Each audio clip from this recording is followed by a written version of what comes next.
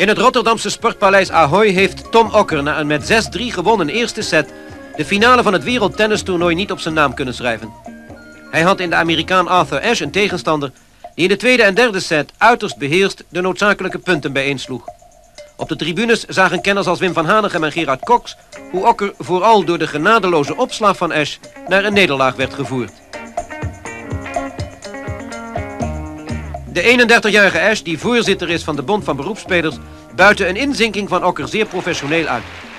Telkens opnieuw zag het publiek hoe de kwetsbare Nederlander met onzuiver geplaatste ballen punten verloor.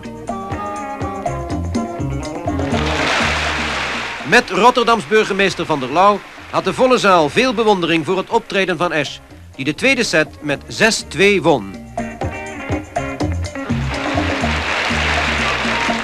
In de derde beslissende set, toen Ash met 5-4 voor stond, verloor Okker zijn eigen service game. En toen was het gedaan.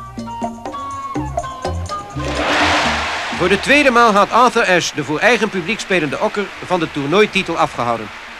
Okker kon zijn teleurstelling daarover maar moeilijk verbergen.